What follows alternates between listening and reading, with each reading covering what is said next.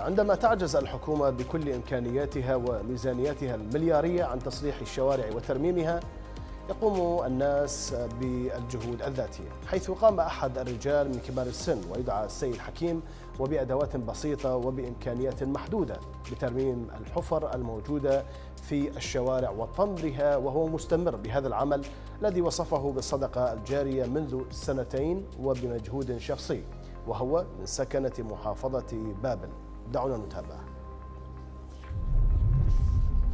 شلونك سيد؟ أيوه شلون؟ صار لك إيش قد تشتغلوا هاي الشغلة؟ قوة الله قوة الله كل حد يشتغل. كل حد صار لك إيش قد تشتغل هاي الشغلة حجي؟ والله صار لي سنتين. سنتين. حتى العباده رئيس الوزراء طلبني. زين بس افهم ليش انت؟ شنو مجبور أني؟ طرع صدقه جارية. طريق المسلمين. هاي تطوع من الله سبحانه الله تعالى خير الناس من نفع الناس. للفقراء سيارات. بتتكسر سيارة واحدة سيارة تتكسر. ليش إيش؟ عظيمة هاي. هاي المواطنين السواق اللي شو اللي وغيري وغيري كلهم حتى مطلس بارك الله. بتتكسر ما تخرب هذا العراق العظيم. لو اني كان مكان العراق ياخذي جنة أنا الحلة خليتها جنة. زين حجي أقدر أخذ اسمك؟ اخذي سيد حكيم نعم. بالسعادي؟ نعم. يعني شو هي سيد حكيم من عميدي الله يبارك ممنوع خدمة صدقة جارية؟ حي بكر اللي قاعد. جارية يا أخوي. فيك.